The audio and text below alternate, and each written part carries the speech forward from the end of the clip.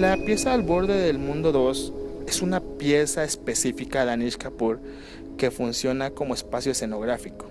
Si bien Anish Kapoor en sus diferentes propuestas escultóricas prácticamente todas juega con el espacio, la serie Al borde del mundo, en el caso de Al borde del mundo 2 que se presenta aquí en el MOAC, es un espacio escenográfico, un espacio de contemplación, un espacio donde la pieza es difícil de fotografiar eh, por sí misma, es difícil de revisar como eh, espacio escultórico, un, lugar donde es mejor cerrar los ojos y tener bien abiertos los oídos que contemplar como la costumbre de, de Anish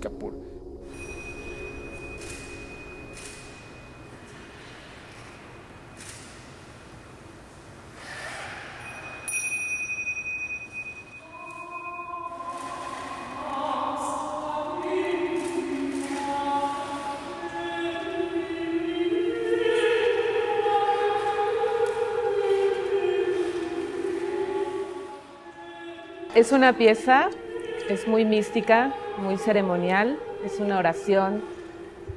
El proceso inició cuando Bárbara nos pidió un texto de alguna canción, de algunas palabras o algo que nos significara, que nos moviera por dentro. Entonces yo escogí una pieza de una canción de un cantautor que se llama Javier Corcovado y bueno, más o menos dice así, la letra es un pequeño fragmento. Ya nadie sonríe ni dice la verdad, la gente ya no ama. Guerras, torturas y engaños en la televisión y yo lo único que puedo hacer es susurrar esta canción.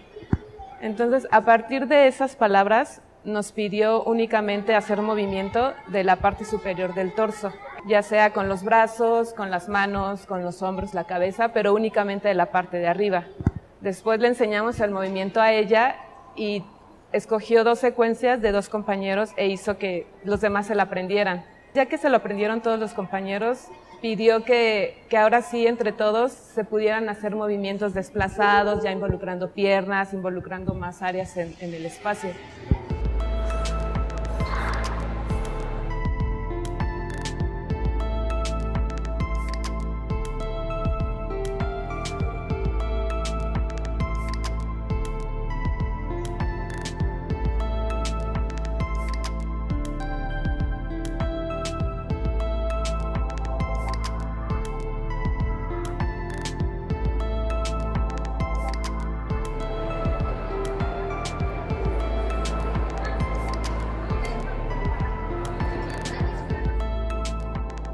Danza sucede en tiempo y en espacio definido, que es una de las virtudes de esta pieza, es decir, está encuadrado, un círculo amplio. Entonces, sobre eso empezamos a preguntarnos qué significa el número 4. El número 4 es todo, los cuatro puntos cardinales, las cuatro estaciones del año.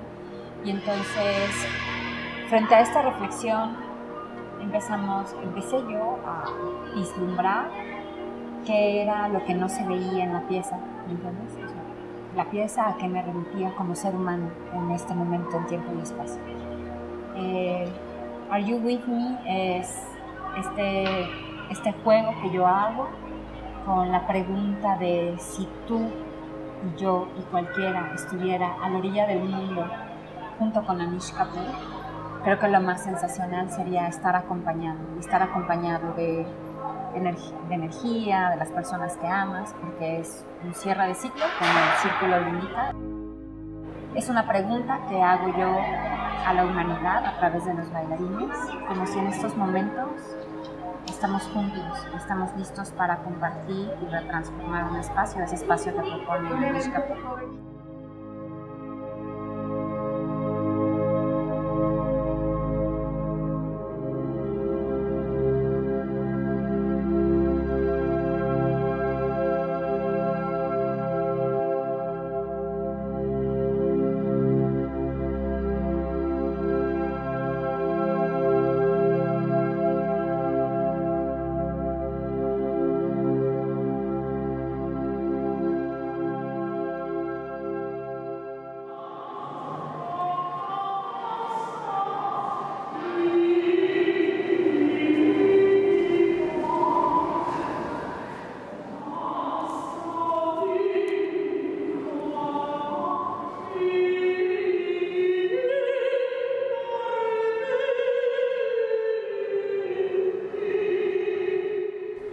¿Qué es o cuál es el área que se, que se interpretó?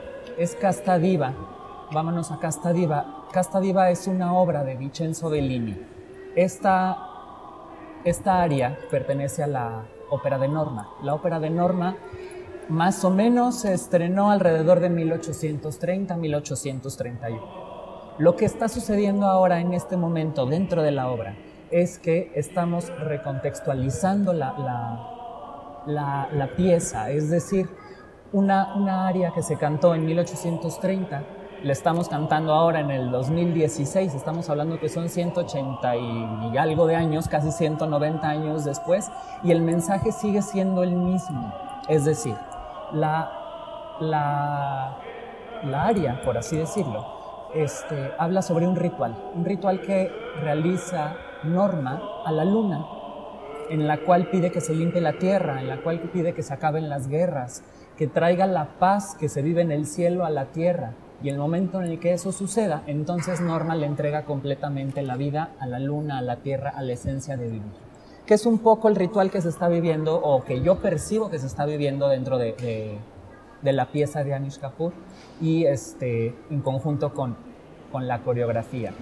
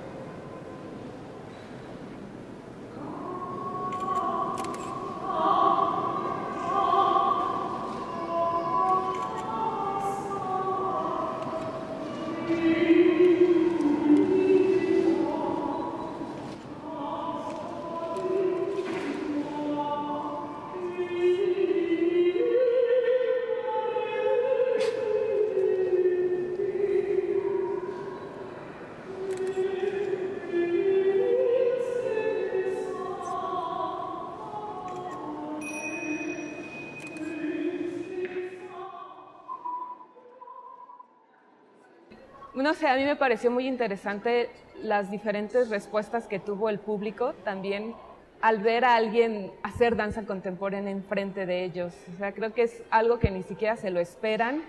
Una vez más entra el, a ver, ¿cómo es que nos relacionamos nosotros dos, no? O sea, yo como, como este ser extraño y tú como, como público. Y es muy mágico porque en un principio pensamos que, que el público iba a reaccionar de una manera súper tímida, pero no, o sea, más bien fluyó y, ellos encantados de que nosotros los agarrábamos, porque en un momento de la pieza los agarramos y les damos una vuelta por todo el espacio. Y en lugar de mostrarse apenados, se sentían como orgullosos. Así, sí, soy parte de la obra ahora y me están viendo a mí y, y, y también nosotros estamos con ellos. O sea, creo que un, código que siempre existió era el contacto siempre con el público. Y es como una experiencia totalmente diferente para todos, o sea, para niños. Hubo un, hubo un, momento, un público que era un chico que estaba en sillas de ruedas. Entonces yo dije, ¿por qué no agarrarlo a él, sabes? Pues sí, lo agarré, le di la vuelta y creo que al final su mamá estaba súper conmovida, como, como en general todas las personas siempre decían, es que realmente me traen esa paz, esa armonía.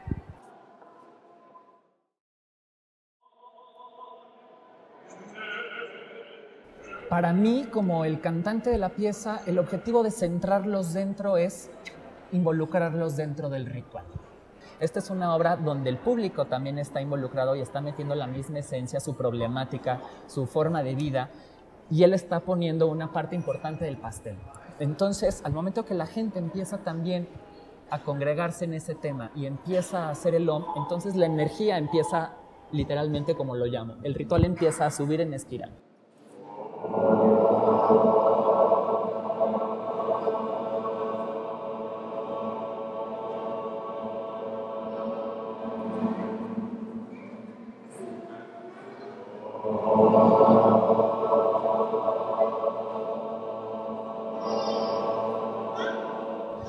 Después de eso, que la gente ya se siente parte de esto, es cuando yo como el elemento que estoy al centro, me salgo.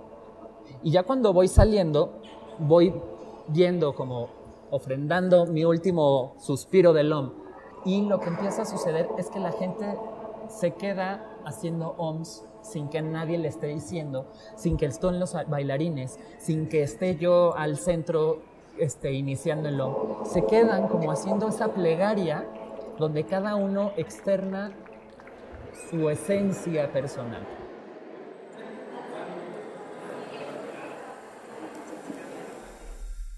Alguna vez escuché que en la danza, a la hora que sales a interpretar, tienes que ofrendar algo, ¿no? Más allá de brindar algo técnico, estético, porque así es la danza, creo que lo más importante es dejar en el otro algún mensaje, alguna reflexión o alguna imagen.